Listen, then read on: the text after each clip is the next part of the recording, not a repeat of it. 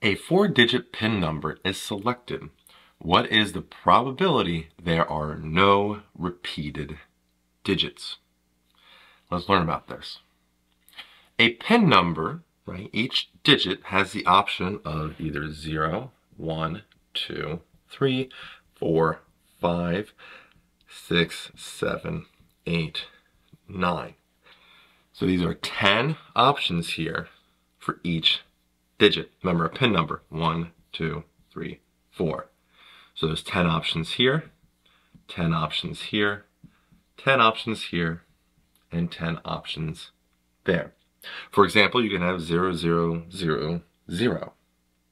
So there is a total of 10 times 10 times 10 times 10 ways to create a PIN number.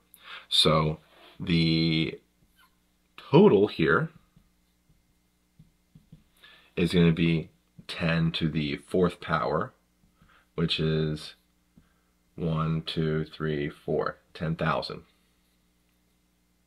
Now we don't want any repeated digits. Now this is where it gets kind of tricky. We have to figure out the numerator here, okay?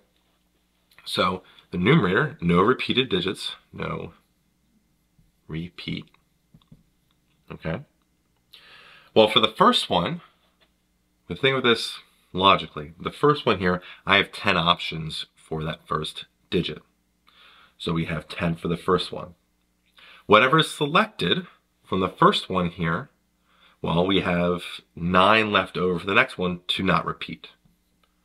The next one, there's eight left over. And the next one, there is seven left over. So multiply 10 times 9 times 8 times a 7, which is a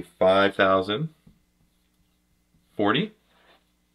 So if we simplify this as a decimal, so the probability of no repeat